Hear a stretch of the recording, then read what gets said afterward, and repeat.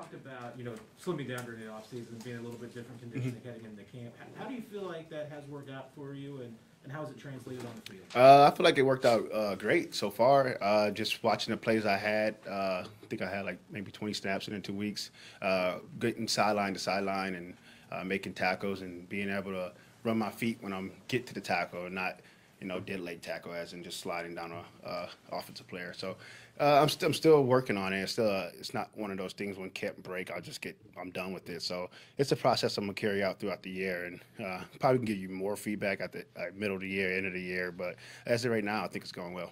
Coach referred to you as big brother of the linebacker group. What are you seeing from Nick Bolton, Gay, that gives you, um, you know, gives you hope for the Chiefs, the future? Oh yeah, they're they're chasing improvement uh, every day and every week, and uh, from the first week they've been here to now, and they're you know they're making their own calls, and relying on me less and less. So uh, I just feel like the more guys we can get like that in the room, the better off we can be. Uh, when you have a higher level of expectations out of everybody in the room, it, it, level, it raises everybody up. So the more good guys we get in the room that work hard and good ball players, everyone play their best ball, and that's how we move forward.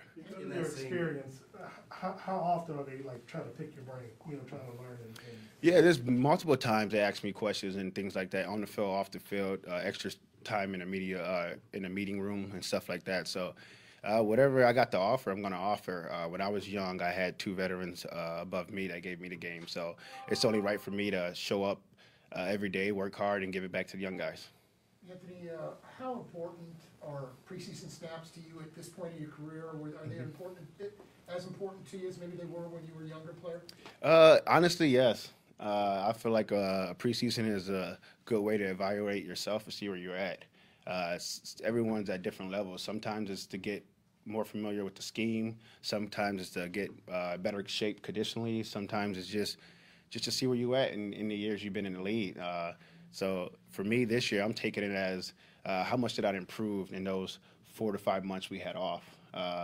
You know, we're going back to back Super Bowls. Our, our off season's been a little shorter, but how much did I, I improved on just little things, my weight, uh, my pad level, uh, you know, just recognition, pre snap reads, and things like that. So how's that been going for you in the first two games? Uh, so far, so good, but uh, we live in a business where you have to show up every day and do it every day. You can't just do it for one week. So, uh, so far, so good. I just got to keep stacking them. So far, so good from an individual point of view, but given that uh, performance against the Cardinals' first-team offense, what did you take out of that, and what did your teammates take out of that to give you confidence heading into the regular season? Yeah, and uh, we played really well, but uh, at the same time, they didn't have all their starters out there. Uh, their their best player, we all know, is uh, D Hop, so they didn't have him out there. So I think the game would have been a little. Their game playing game game would have been a little bit different with him out there. So I just think. Try to take the pros out of it, you know, and build on them. And then there's just always some things you can work on. So, uh, well, preseason, where they got some starters in, some starters are out. So it's kind of hard. We kind of really focusing on ourselves and seeing how we're improving week to week.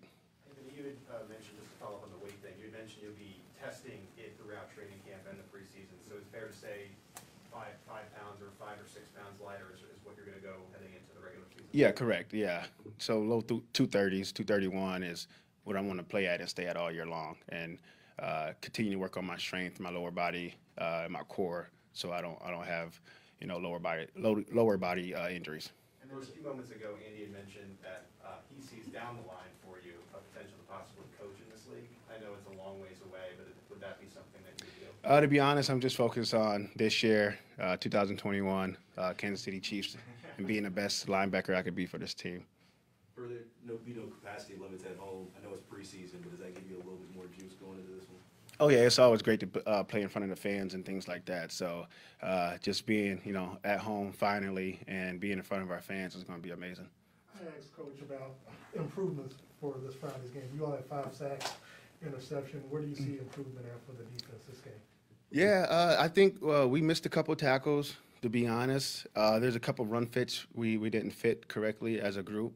Uh, not so much as first thing, second, or the threes as, as a group. Uh, and uh, and all the, the sacks we got them, but there there was breakdowns on the sacks. There there was uh, because like Chris got a great uh, spin uh, off the edge and got him a sack right in his lap.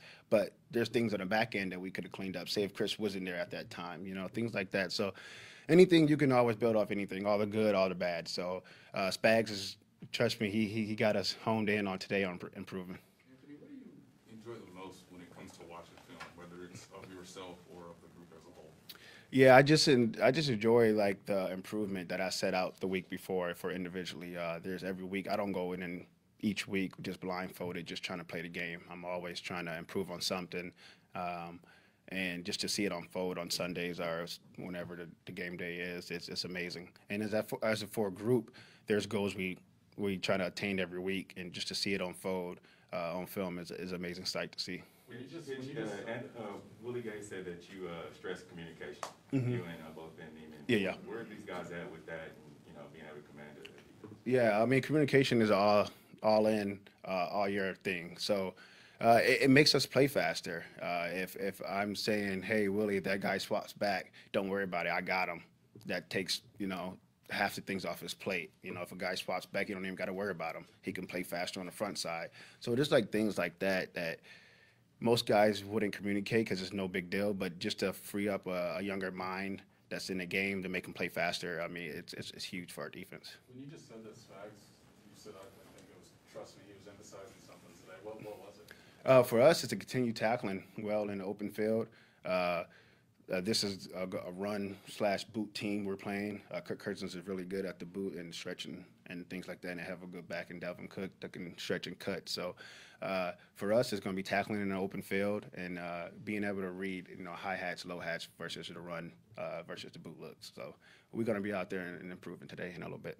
Anthony, do you think you are starting to see the same thing Spags season year three, even before a film session, before maybe year one, where you're learning about him, he's learning about you guys as a whole? Uh, yeah, there, there's some uh, little input in that. Uh, I, I just think that the more comfortable you get with the system, then you can go off on branches and learn something else. Like, uh, to be honest, I, I actually learned the Sam position in our base this offseason. It's because I, I had the details in the Mike and the, and the Will Buck. So in order for me to get the complete understanding of the whole defense, uh, I went in and learned the outside backer, the Sam position in our defense. So yeah, I just think when you when you master or learn, I wouldn't say master because there's always things each week you have to like critique and move and, and adjust. But when you get the, the the base understanding of most of the position, it's, it's better for you to branch out so you can see how it all fits together like a puzzle. So, yeah. Okay, thanks, Hitch.